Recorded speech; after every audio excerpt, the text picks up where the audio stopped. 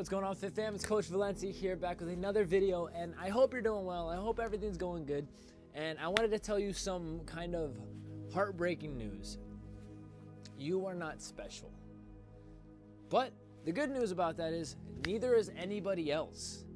I mean, we can run around saying everybody's gifted or talented or have this or that or the other, but in reality, we got to break it down to how hard do you work to get to where you are? And I know that's kind of a blown up statement, and that could be going to anything and anywhere. And of course, certain things in life require a certain amount of talent, uh, a certain amount of genetic potential that you reached. You're probably not going to play in the NBA if you're five foot five, but that doesn't mean that you can't work as hard as you can to do something that you love or to get to a place that you can.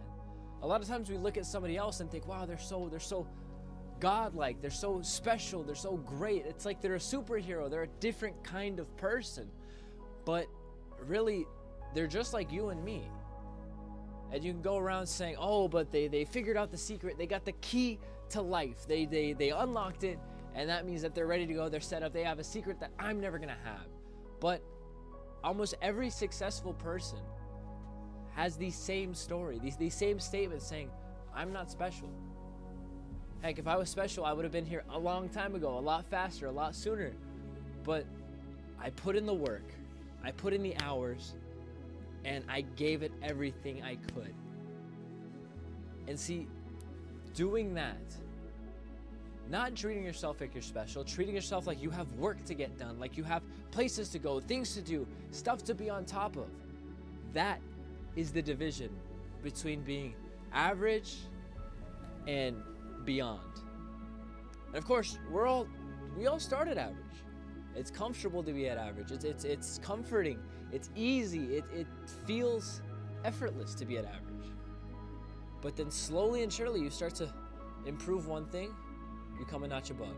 You improve another thing, you start going further. And you want to keep on ticking it through until so you don't even recognize what you were. Your new average for yourself is years and ages and skill levels beyond what you ever thought you were capable of doing. So you have to accept the fact that no one's special. No one has this magic gift that's just brought to them. It's about the work you put in. And it's about what you're willing to go through, what you're willing to sacrifice, what you're willing to push yourself to get. And once you start listing those things and working instrumentally as hard as you can to improve yourself, then you'll feel special. But you'll know that it was all in what you did, not what was given to you, not what was gifted, but what you did. And no one can ever take that away from you. So,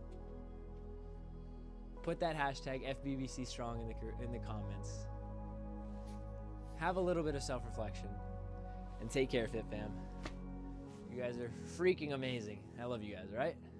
See ya.